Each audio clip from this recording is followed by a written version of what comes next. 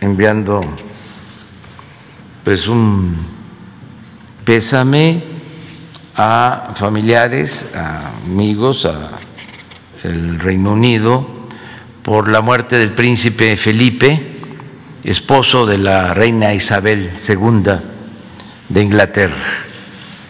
En nombre de el pueblo y del gobierno de México.